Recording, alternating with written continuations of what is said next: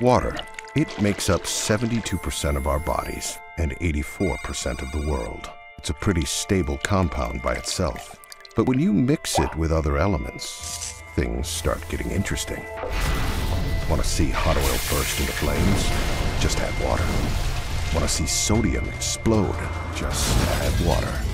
And if you want to turn the mild-mannered Katie Ledecky into an unstoppable force of nature, you got it. Just add water.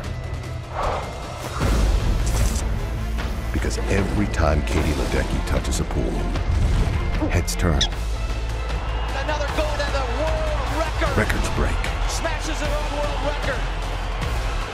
gold piles up.